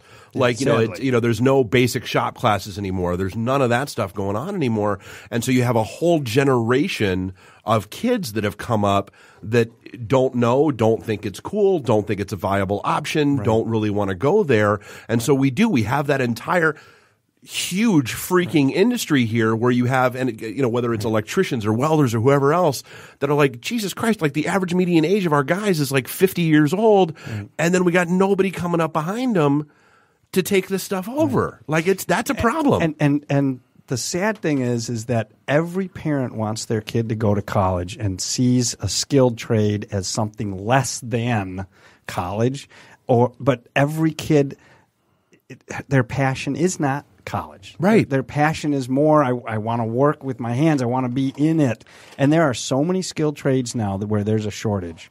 It's um, crazy. Oh, you could you could darn near write your ticket, and you I co- talking- and you have no debt. Yeah. because this the, the company will train uh, every No, they- CEO you- I you get talk to. paid to be an apprentice. They're desperate. Yeah. Well, and that's what a lot of tech companies have switched to now, whether it's Detroit Labs or you know CBI and a couple other companies that we know of. Same kind of thing. They couldn't find the people that they wanted to be developers for them, so they bring them in in these apprentice programs. You know, pay them a living wage while they're there, and then when they make it through that program, they hire them. It's that same model. We're running an apprentice program right now, and we're oversubscribed on the company side and undersubscribed on finding the people. Crazy. Crazy, and and they get paid. Hey, we'll hire you in, and the, you know we'll, we'll help the company train you up. Can't find them. I Can't there's, find there's them. a phenomenal organization that we've we've partnered with. It's called Venture for America. Have you heard? Uh, Sure have. Yeah. Man, yeah. we have we have met some some top notch people. One of our first you know hires in the in a newer generation of growth. KN KN Mhm. Reed she came out of there, and I I can't I can't speak. This is a good org. I, Yeah. It's it's a But great uh, what's her name? Um, Kate Catlin uh, was part of that. Venture for America. Yeah. Do they really have a ditto? No, no. Did he? Did No. They have a ditty? Did he? I made that up just now. Was it a P Diddy? Was it a? But hey, we're gonna jump on a quick break. Uh, well, so November 9th, where do we find out about it? How much is it? November All that 9th. hey, fun listen, stuff. go to automationalley.com and uh, it's uh, the, the the pricing is all there. Uh, there's some good discounts, so I don't want to give anything away. I- Okay, I cool. Think, I think you'll find that it's it's, it's worth it. And uh, and and absolutely, I want to do the IT and the D discount for our Wednesday session. Awesome. because those are easy. You come in, you get breakfast uh, on your way into work, on your way back from work. You know, come see what we're doing. I tweeted out all the links. Oh, thank you. That's what he's. AutomationAlley.com. My God, he's good. That's why we keep him around. Tom, appreciate the time. Good to see you as always. We'll uh, definitely keep in touch. Thank We're going to take guys. a quick break. We're going to be back with Eric Lochner from the Out Loud Group talking uh, YouTube content advertising. This is the IT and the D Show, and we will be right back. IT and the D. Read, meet, listen. Networking Detroit. One beer at a time. Hi, I'm Brittany Daniel from The Game, and you're listening to IT and the D Show. ITinthed.com. Welcome back, segment three, episode 207. This is the IT in the D show broadcasting live here in Studio One, Podcast Detroit. Beautiful Royal Oak, Michigan. Bob the sales guy, Dave the geek, Nur- uh, Nuri the FNG is out. So Randy, I do the Twitter's Walker sitting in his seat. Uh, find us online. Got a spite. Find us online, itandthed.com because we are IT and the and you, you, still, are not. Yeah, good luck So, with that. yeah, so that's another annual. We love you. caused. We love you. Muy, muy. Yeah, exactly. And don't forget, so again, tomorrow night, uh, Ann Arbor, we are at Pretzel Bell. Pretzel Bell. Uh, for the event starting at 5 o'clock. Uh, Well, there next- are no pretzels. There are no bells. There, There are pretzels. There Oh, are there pretzels. are. There Oh. are no bells. It's like Taco Bell, but pretzels. Yes. Oh. Yes. You like pretzels. You're I German. do. I do. Uh, and then next Thursday, the 10th, uh, we are down at the Detroit School for Digital Technology uh, for an open house starting at 5 o'clock, and then doing a podcaster meetup across the street at a cool little dive bar that's right there called Donovan's. Uh, we'll be there from 7 o'clock on till whenever. Ray's going to be there at Donovan's. Ray Donovan. Yeah. Yeah. nah. yeah, I don't feel bad about the Tina Turner joke now. Uh, and then the 17th will be at Blackfin. So we had we had a lot of stuff going on this month. So hey, we are joined by uh you know why he's the coolest guy ever? Because his kid's sick and he called me to bail and I said, "Let me make some phone calls. He goes, If you gotta make phone calls and ruin stuff, I'll I'll take it home with my wife. So this guy's the, my favorite person of the day. We got uh, Eric Lochner in the house. He's the CMO for the Out Loud group. Uh, I- My wife is your favorite person. of the You're, day. no, no, Yeah. just the, the, the beating you're gonna get when you go home is gonna be so like. hopefully you'll. Uh, but we No. we sincerely appreciate you uh, you being on board. I appreciate being here. This is fun. I'll call Casey and get her hooked up with a massage or something. Ah, but it's legit. It's legit. Um, but hey, for uh, Yeah, no, not that place, like a real one. right? Yeah. uh, for those that don't know, I guess Out Loud Group. We've been working with you guys for for a couple years now. Yeah. Uh, but yeah, I guess let's give a quick So, high level Out Loud overview. Group. Out Loud Group. Uh, we are Detroit-based social influence, social influencer marketing agency. Would basically be the the long-winded version. Um, we we broker relationships between brands and social influencers, and and help brands find that a, a good targeted, genuine um, brand ambassador uh, across almost all platforms of social media. But we, we really concentrate on YouTube. Got it. And that's Whereas we have faces for radio. Yeah, no doubt. we try to do the YouTube thing. I'm like, ew, I don't like watching that. Ew. Um, the camera adds ten pounds. How many cameras are on you guys? Yeah. but the, that's the one thing that I, I don't think a lot of people know. It's just the sheer amount of money that is out there for YouTube creators. Yeah. Um, Did you you you? It's mind-boggling. You said a thing earlier when we were in the green room. Well, did we? T- we've talked about like you know PewDiePie and like some of those guys, and the money that they get. It's like holy crap! But like you don't even have to be that huge to go. I mean, it's some of these numbers are nuts. No, he's saying uh, what hundred thousand dollars for a forty-five second read. Yeah. I mean, look, on YouTube, there's two main sources of, of revenue. One is going to be the AdSense, where uh, YouTube runs ads, pre roll ads Right. against your video. And um, and then you get a share of that as as a creator, as a content creator. And then the other main this is all from this the two main avenues of advertising revenue. That's Right. one. The second is integrations, as we call them. Um, could be product placement, could be um, you know actual product endorsements. You know, we will never bow to sponsors. no, but, like, no, but you guys talked about Eero earlier. They're a good product. I Yeah. have them in my house. too. Rock stars. Uh, Yeah. Casper. I sleep on a Casper. Got a I Casper do every mattress. night. Yep. Got my automatic in my car. I got wear a my, SCOTTeVEST. Got my SCOTTeVEST. got you know Dollar Shave Club keeps me going every I need- I need morning. My copper knee. And Yeah. I'll be complete. Listen to Audible in the car. Right. I eat Hello Fresh and right, uh, we're good little podcasters. We No, it do depends. Uh, Blue Apron or Hello Or Fresh. HelloFresh, but, uh, yeah. depend on the month. they're they're they're they're neck and neck, aren't they? But Blue Apron has big, big, big IPO, right? Yeah. Didn't they go public? They got a lot. I'm waiting for funding. Hello Fresh breakfast. I'm I'm just waiting for HelloFresh for it to arrive this week because that's a Right. product I do. Yeah. um, that I do at home that I take. Um, but so those two main revenue streams for YouTubers, like when you get to PewDiePie level, you're and you're doing a couple million views a video, you're you're without anything else, you're in the hundreds of thousands of dollars Well, a year. that- let me- from the the little bit Let me ask that revenue. question because I was uh, I found this great playlist of '80s videos, alternative '80s videos. Yep. New Order, all that stuff, and each video is like 8.9 million, 7.8. Like, at what point of views do you like see some like six figure revenue? Is that Well, that's over the lifetime of that video. Right. A lot of these, a lot of these vloggers, blog, video bloggers, Right, right, right. right. Um, they're the majority of their views are going to uh, accumulate within the first twenty four to seventy two hours. okay? Right, and then you know a video that's buried five deep isn't going to get isn't going to increase ten percent more. What you're talking about are the the long tail, Yep. fat tail, sh- the fat tail. I'm almost cussed there. Right.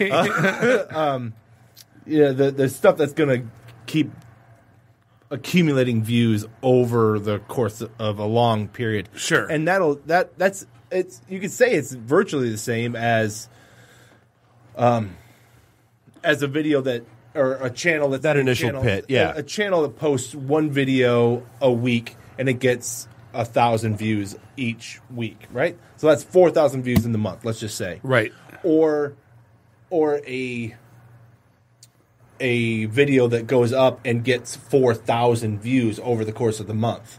They're going to get the same ad revenue, right? From from that pre-roll. Right. Um, the the integrations that we do, the the the out, the the out loud brokers, um, the out loud group brokers is really it's really bringing a brand together with an individual individual that that is going to actually have an audience that is good for the brand, um, that is going to have a genuine interest and quite often enthusiasm for the brand because look, these aren't professional actors. That that kind of enthusiasm you can't you Right. can't fake really well. Well, and that that was what I was going to ask you: is YouTube saturated? But I think I know the answer to it. No, I mean I, I don't even know the statistic, but it's something like there's something like hundred hours of you of video content that gets uploaded every minute. I think it's more than that It's got to be more than that. Yeah. you know it's there. There's so much content. Well, then people are talking about dumping podcasts on with just a generic, kind of like when you find a cool song and it's just a picture of the 45. You know what I mean? Uh, But you don't. no. You know, Five hundred hours of video is uploaded to YouTube every minute. That's fascinating. That's I mean that's a mind-boggling statistic. If you think if you try to even conceive of that, I, I th- that content can't be consumed, which it, it does create this interesting tipping point, and it's always a moving threshold. But wow, that's a that's an exciting wave if you're able to catch it. Well, You know- and it's you know like I mean. it's like we always joke. You know, one out of every every two Americans has listened to a podcast because one out of every two Americans has a podcast. That's funny. it's true. But but to return to your point about podcasts, um, a, a lot of a lot of long term you know brand studies have have come back and said podcasts have really good lifetime value. So um, there are certain mediums like YouTube that is really good for generating trials right? If you have a you have a product, product X, it's a subscription, and you go you find ten social influencers on YouTube to endorse your product that they like it and they talk to their audience about it. They might get a lot of people for the free sign up, but the number of those people that convert to paying customers is a little bit smaller or even taking it one step further when you really look at the lifetime value the number of paying customers that turn into like lifetime customers that that key demo that key um little Well, that ROI piece they're looking are- for. it's higher it's a higher percentage of podcast listeners So let me. I mean, here's the thing we butt up against, and I think this is kind of funny that there's this group of uh, you know podcast experts that try to paint Sell these a book. rules and but it, the game changes every SoundCloud every sucks, and your intro needs to be this, and blah blah blah. Is uh, I Your never. podcast should only be twenty minutes long. Your intro shouldn't be more than ten seconds. But like I don't, you know, I don't hear that. Maybe you tell me. Does that community exist for YouTube too? Because I'm thinking because I we we come at it with podcasting. There's no rules. I, I- I'd like to think that YouTube That- there's no rules. That's but a beautiful thing about it. Is it's the most democratic of of platforms, right? You can create the content and you can put it out there, and if it's good, people will listen to it. I don't care what anyone says. And yes, hey, there there are ways to tweak the YouTube algorithm or to try to get ahead of it, but content's king. You put out good content, people will want People it. keep coming back. That's I'm sorry, that- that's not going to change ever. Well, we make we make fun of our kids watching people playing video games, and I find myself watching Battlefield One videos and Battlefield Four. Double videos. tap to the head when you're a sniper up. Yeah, the- yeah, absolutely. the guy named Oz, some uh, Ozzy or Ozzy video. Oh my god, they're hysterical. And so like, yeah, stupid kids watching YouTube as I'm as I'm well, watching. yeah. Well, we did. Well, when we did the kids episode, it was already explained this to me. You know, why do you watch somebody playing a game that you have? And I, it was Gretchen's friend who was like, "Well, why don't you just go outside and play football?" Right. Instead of watching football games. You I, got schooled by a 12 year old. She shut Dave up stat. that's a that's a really good point. No, so when we talk about no rules, and here you got somebody that says, "Hey, I'm going to put out the show. I'm a I'm a hillbilly cook, and I'm going to Yeah. put out a hillbilly video." That sounds like, a good channel. Yeah, actually. seriously. Uh, every week it's just you know roadkill rampage. roadkill, yeah. right, right. But like, uh, do you give it? You have any advice, or is it just like, hey, just go do? Yeah, no, uh, there there is no single formula. It is go do.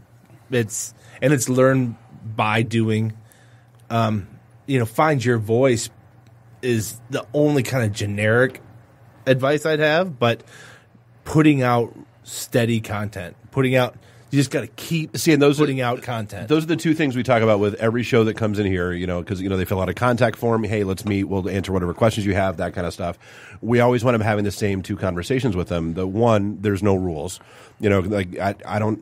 You know, I'm not going to tell you you should do a 20 minute show, an hour show, a two hour show, or something like that. Fi- you know, experiment and find what works for you, and more importantly, what works for your listeners. You know, and figure out what they're looking for, and what's going to work for you long term. and then two, don't be afraid to tweak and change. Yeah. I mean, it's you know, and be genuine. I mean, that's that's the most important point. thing. Like at Detroit Startup Week, you know, I was on a panel about podcasting, and a guy in the front row, um, you know, raises his hand. He's like, "Hey, I'm thinking about starting a podcast. How do I monetize it?" I'm like, "Well, if that's why you're looking to start it, don't." Don't. Nope. If if that is totally getting the cart before the horse. You're not gonna. Don't the thing that you're monetizing. The thing that the thing that I'm paying money for. Thing that the Outlaw Group pays money for is. I want to be able to access the relationship you have with your audience. Right. That's the Yeah, real- so if you have no audience, value. you have no relationship nothing. with them, You have yeah. nothing to monetize. So go build that. Go build that. Go build. Do something you're passionate about. Talk about content that you really genuinely like. Like I said earlier, that kind of enthusiasm cannot be faked. Yep. And and this is you better take you better take the long view because if you're talking about oh I'm going to do six episodes and see how it goes, you're not going to you're not you're well, dead. Well, no, I mean, and consistency, you know, and cadence are, are the biggest things that we found. Is you know because it takes it takes a while to train people when they should be listening to your show and and when they should be checking stuff out. It takes two weeks of you missing that cadence or two instances of you like if you're a biweekly show or whatever it takes two instances of you missing that cadence for people to just start dropping like flies Wow, that's that's interesting. That's more, uh, I guess, on the ground intel that I than I usually get. Because we we as you both very well know, we do podcast advertising Yep. as well. Um, so how are you feeling out? How are you feeling that out? How are you feeling that cadence? You're just looking at numbers and you're saying, "Oh wow, how Well, and looking at subscribers on the feed and that sort of thing, and who's dropping off. I mean, one of the best examples we have. I mean, there's a, there's a great show, um, you know, and they were doing great. And in fact, they were one of the first syndicated shows that we picked up on the network. We were their first network. They were doing awesome. Life was good. They were getting 10, 11, 12,000 listeners every week. Life was awesome. And then they went dark. Like they got busy. They forgot to do a show. They didn't, you know, they're doing a con. They couldn't get to this. They couldn't get to that and they came back six or seven weeks later with an episode again and it's been a couple months now and they're at 800 900 1000 listeners Yeah. um, and it was and that that drop off started right at about that two three week mark where you know people started unsubscribing or they started dropping off because there weren't there what that cadence had been missed I actually I actually like the show. Those shows in that particular point of their their their life cycle. I love those.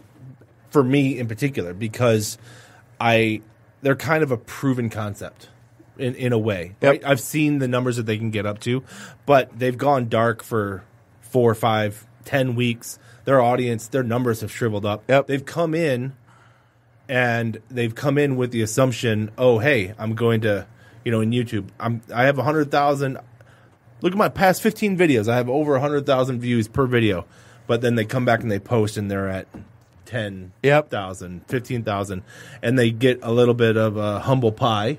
And then I can talk to them about realistic rates because, yeah, the rates that that these influencers are getting are are just skyrocketing.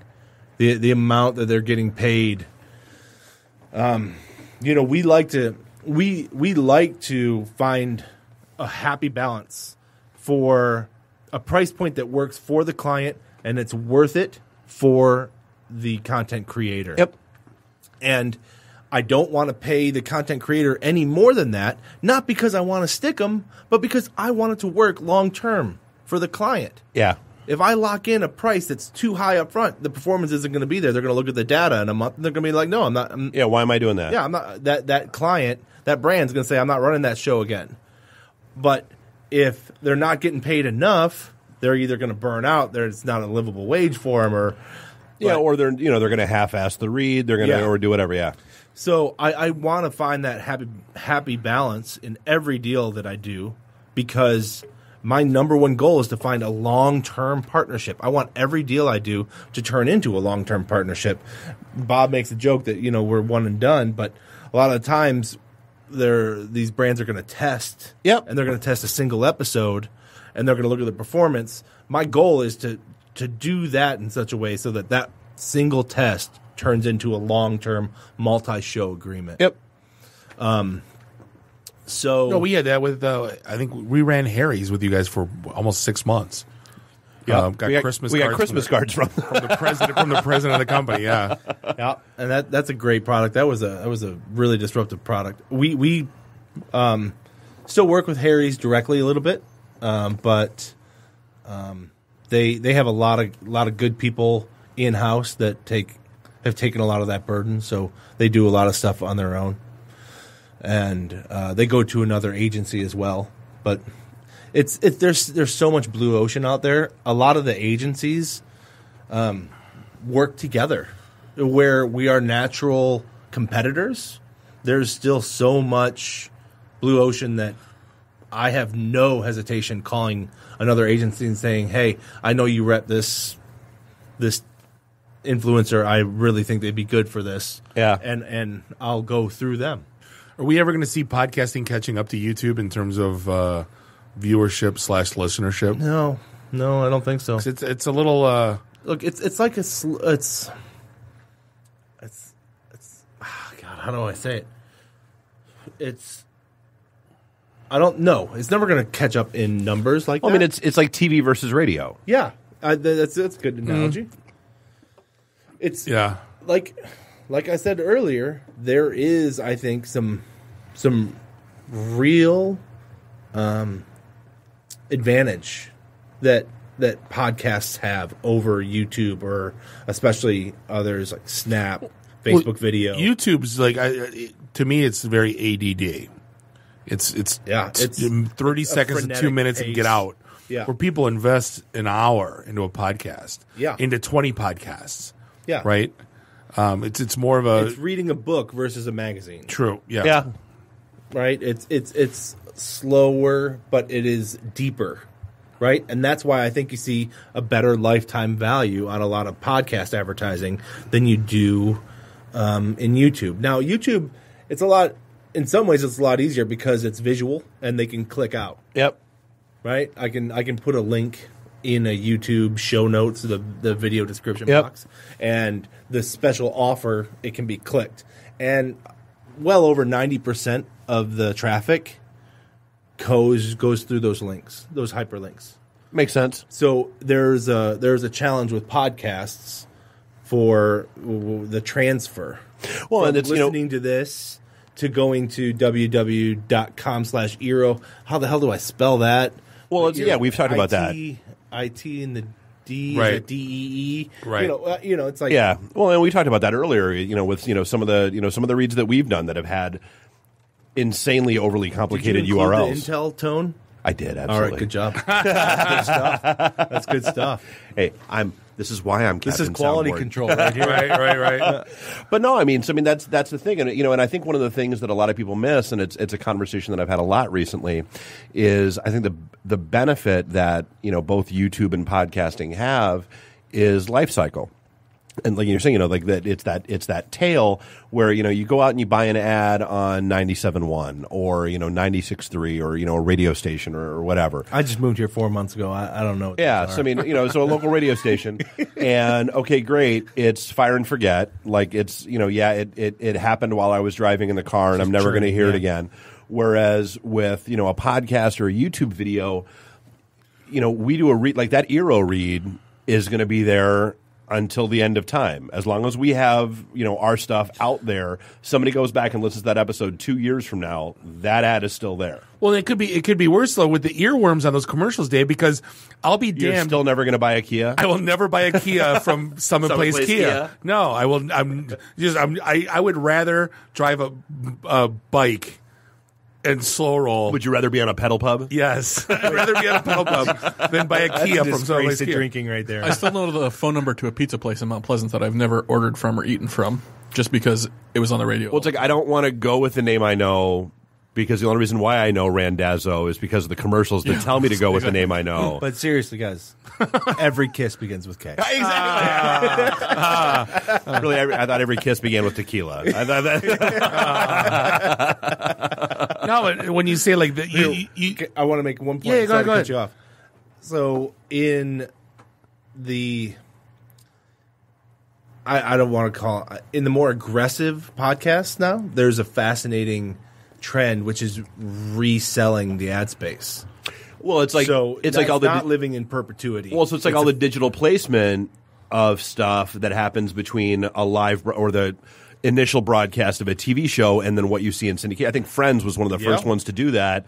Where somebody's got a box of frosted flakes during the they first broadcast, and then it's Fruit Loops when it's in syndication. Oh yeah, So- that's that's a so real with, thing. With with Really? ads, Yeah. yeah, with ad spaces in podcasts, they'll um, they'll do either you know a download or stream guarantee, and and or a timeline like it'll live for six months, and then they have the right to resell it. You have first right of refusal to go ahead and buy it again, but some of them are just smoking crack and they want the same amount for syndication. Right. Yeah, Like, no. the numbers aren't going to be there. Well, No. right. You're you can go away now. nobody watches wanna- Channel Twenty anymore. I don't want to talk to you. Anymore. right. Um, so it's just so they it's not going to live in perpetuity for a lot of the channels. Right. But well, and especially as more you know, like I mean, th- there are a lot of platforms now that are starting to that are starting to work with the digital ad insertion. So basically, like all we would do on our end is pop in that hypersonic marker, and that's the cue for the platform that when it hits that marker, insert whatever ad happens to be next in play. we do. That's not what we. Do. No. I know it's Yeah, not, but we do live reads Yep. because I want I want a real.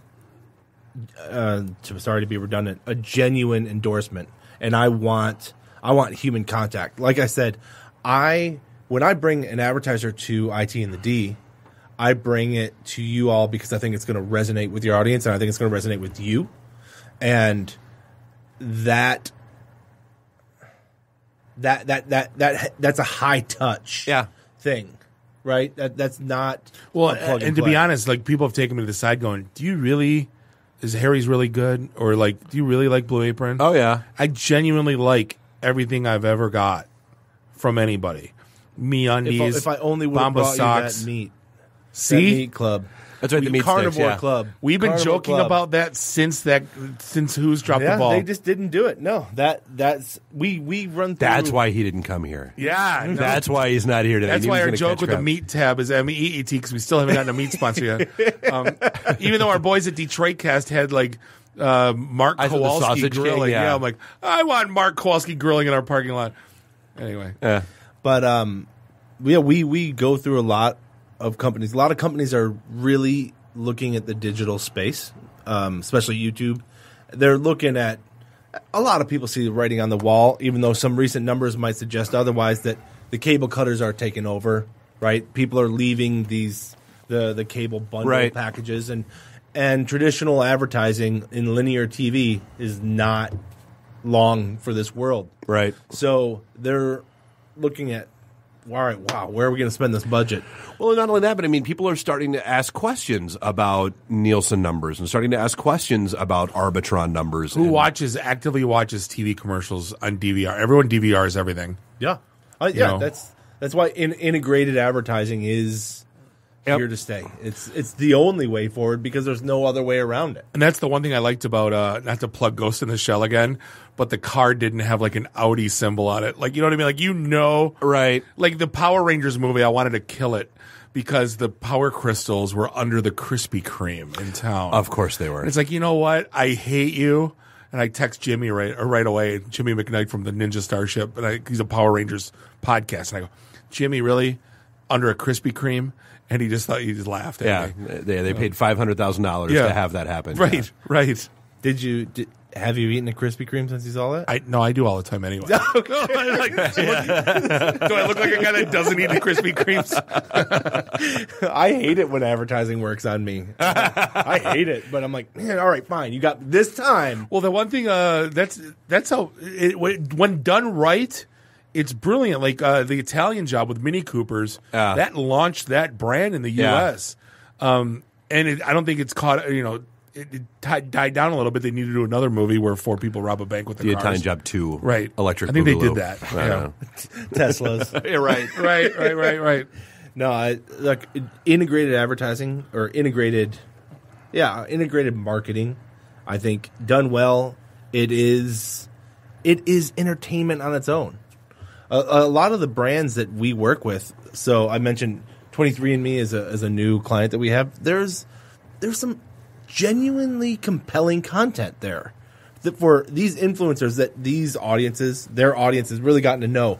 They do a DNA test and you know there there are certain restrictions about medical things, what they can disclose, what they Yeah, can't. And but all that, yeah. you know, so we kind of stick to what is their heritage, right? What's what what's their genetic background, and that is an eye opening experience for them, and it's compelling content. They get to share with their audience. When you get that sweet spot of something that that actually fuels the content and is interesting to them, Mm-hmm.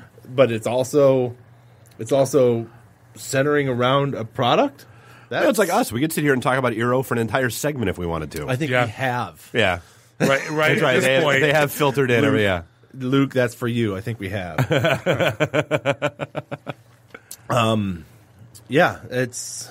I don't know, what what else can I tell you? What else do you think would be interesting for your audience to know about Well, influencer advertising? No, I think the I think the sheer numbers is the mind-boggling part, and I don't think a lot of people realize that.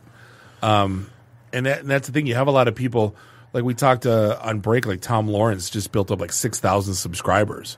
Um, you know, Yeah, I in a couple months. In a couple months. I mean, again, you know, we talked about at what point do they like you know get When in contact? start to do they- monetize? or when do they start at least like, hey, we should give you know these guys a call.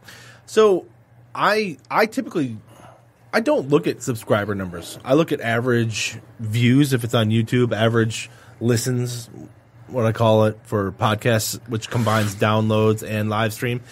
Measurement's a lot harder for podcasts, right? YouTube, it's easy. Numbers right there at the bottom. Yeah. It's it's pretty cut and dry. And then there's the performance that that is a lot of the you know we look at the data. We say how many how many conversions. All right, we spent a thousand dollars on this integration. It got ten trials. Well, that's a hundred dollar cost per trial, right? Um. So then you look at that long term. You look at that long term value versus that that front end the the front end I look at the numbers, sorry, I look at the average views or listens, right? I use that for an initial pricing point, which is a best guess. Yeah. Okay. Well, it's the best you can do. Right. And and I use it in in a very general sense. I'm looking for a channel or a show that I think would resonate. It's got the demo that I'm looking to tap into. It's got the personalities that I want to tap into. Um, I pointed at these guys, by the way, for you, and uh, and then I use that as an initial launching point, but then it's gotta it's gotta be tested against the data in long term. Yep. And if the data doesn't doesn't make sense, then we go back and we tweak this. Well, and that's the you know, and we, I guess that's one of the weird things that you don't know. Like my my kids are on YouTube all day long, and it's like you know, and I, and I get the whole marketing to kids, right? We've been marketed as, as you know cereal and all that stuff, but it's you know that's the one thing you don't know is is this an eight year old watching that says, "Mommy, I want Fruit Loops," but what happens if you're marketing a an Audi? Right. You know what I mean? It's like, Daddy, buy an Audi. Like that doesn't happen. Uh, that's got to be one of the hard, bigger challenges. Am I wrong in that? No. Uh, again, that's one of the real benefits of integrated advertising, integrated marketing, is um, it's a value that I bring. I'm gonna. I'm not gonna choose. I'm not gonna choose a kids show for an Audi. Right. Right. I'm gonna. Yeah, I was I'm gonna say just- that. that I'm gonna that's curate like your job. I'm gonna, yeah, I'm gonna curate the, good, the the the audience that's gonna bear fruit because I'm looking for that long term relationship, and I want the shows that I run and the ultimate cost per acquisition, the ultimate number, to be as low as possible for that company, right? Because I, I, I want it to monetarily make sense for the, the content creator, but it's got to perform for that for the client. Totally. So I'm not going to put an Audi on a kids show because that's just not going to create any sales. Right, but usually that, that's the, uh, the those predetermined commercials. You know, those are those are The pre-rolls, yeah. yeah, Pre-rolls. yeah. Those are there's no rhyme or reason to any of this. Oh, there is. There's some. There's some smart tech behind that. Talk to me about that because I don't I, have, I don't have a clue. Well, that's that's all internal YouTube stuff. That's you know, you you can actually go in as a creator and turn off now. You know, because of the controversy of of ads going against jihadi sites or whatever. Right. Great. I said jihadi on a podcast. Great guys. You're on the list. It's not the first time. You're on the list. um, uh, because of because of the fallout from that, the controls are getting better and better and more, ac um, I guess, articulate. But you know, I can now go in. I can have a host go in and say, "Okay, we need to turn off this competitor and this competitor for pre-roll, but you can leave pre-roll up." It used to be you either could monetize, participate in AdSense, or not. Yep. Now it's you can go in and say, all right, I have to block. If if I'm doing a forward ad, I have to go in and I have to block GM, and I have to block, you know. Um. So you you now have that kind of control where you can start to piecemeal the the things that you need to not come in, but that's all pre-roll, and um like that that's done internally in YouTube. But the real smart stuff with YouTube is is about the algorithm and recommended videos. So over on the right side Yeah. of any YouTube video, look, they're so smart, you don't know what's happening. They're so good at it because they'll bury it. They'll they'll have all right, you're watching a video from this host. The first recommended video is another one from that host, and then another one from a host, another YouTube influencer that that person likes, and then there's one that is close enough thematically that you can't tell it's been Yep. artificially put in there, and then another one from the host that you're actually watching. So so it's driving you. It's driving the traffic. And that's how the rabbit hole happens. Well, it, it, sta- it started with Google Plus, and we all mocked it. But what did we tell Google Plus? Everything about us. Yeah. Right. Age, j- job, you know, you name it. Well, and it knows that, and it knows your search history, and it knows your just that, Gmail, like and it when I- your yeah. on my TV when I open up the YouTube app. I'll be damned if I don't want to watch every faffing video. Yeah. I'm like, oh, that looks good. Yeah. because you know, Oh, oh yeah. I want to watch that one. How do they know? Oh, I want to watch watch the one. Justice League trailer, followed up by the many- Batman vs. Darth Vader video. How many YouTube windows do you leave up because you oh that page has that one video? Yeah, right click, wanted to open a new tab. Yeah. I'll watch that one, and then I'll come back to this. Yeah, it's, YouTube is the new choose your own adventure. Oh, It's it's all- great. That's a great leave your thumb in the last page and You'll hear back. nightmare stories about like you know like I, I woke up eight hours later and I'm Yeah. I, I it's like eight in the morning I so just still I, on I YouTube. don't know where my night went. Yeah. Right. But hey, uh, we're going to wrap things up with this episode 207 of the IT in the D Show. Eric, uh, we can find you at OutLoudGroup.com. Yep. We'll po- we'll post your stuff uh, on the show notes after. But we appreciate the time. Yeah, I loved it. Thanks, It was guys. good content. Yeah, good talk, man. Love the It very insight. cool. Appreciate that. We'd like to thank uh, our sponsors, HP and Eero, for keeping the lights on. We sincerely appreciate you. And uh, on behalf of uh, Bob and Dave and Randy, uh, do us all a favor: drink up your drinks, get your phone numbers. You don't got to go home. You just got to get the hell out of here. Drive careful. See you next week. Beat it. The emergency destruct system is now activated. Conan, what is best in life? To crush your enemies, see them driven before you, and to hear the lamentation of your women. Long live Flash! You've saved your ass. Have a nice day. I have come here to chew bubblegum and kick ass. And I'm all out of bubblegum. Nice shooting, son. What's your name? Murphy. Make the run. The run. Game over, man. It's game over. It's over, Johnny. It's over. Nothing is over. Nothing. You just don't turn it off. I just I can't say no, and I don't really want to. So Well, especially with the back doors open. Yo! Hold up! Time out! Time out! Y'all take a chill. You need to cool that shit out. And that's the double truth. Ruth. Bob loves it in the can. I hope this was as much fun for you as it was for me. That's why I like it in the can. Show all the truth. Ohms. Ohms. Ohms. Fear me. My job is to make sure this program is morally upright and cultural and wholesome. Shut up, Mimsy! Shut up, Mimsy! Shut up, Mimsy! Why would like Buick put their cars next to like the Bentleys? Like, why? That's not marketing. Um, the alphabet. it's brilliant. Yeah, I can't take that position. That analogy sucks because it's right.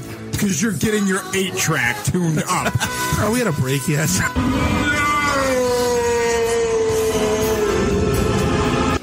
Yeah, so now I'm just like doing like stupid stuff to make me laugh.